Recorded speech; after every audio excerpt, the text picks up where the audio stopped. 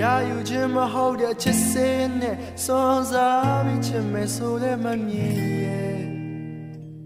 ချိန်မတော်ရင်ပြန်လဲချမ်းမငါကိုဆွေးသွားလို့ရတဲ့ဖိစာရဲ့မင်းလက်ဆောင်ပေးထားတဲ့ပစိုးလေးငါမျက်နှာလုံး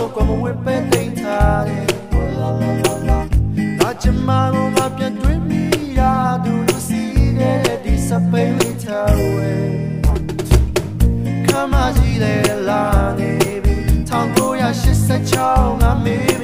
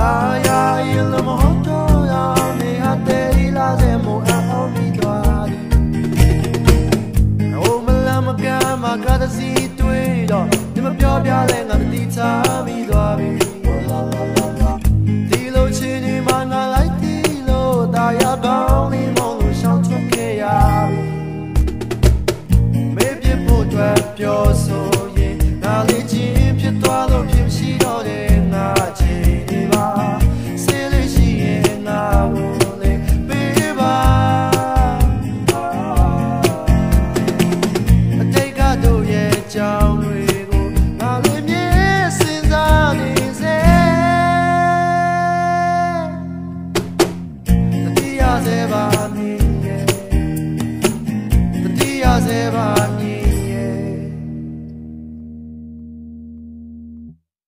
ခမကြီးလေလာနေပြီ1986ငါမေးမရ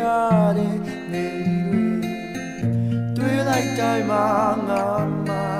ရင်လိုပဲ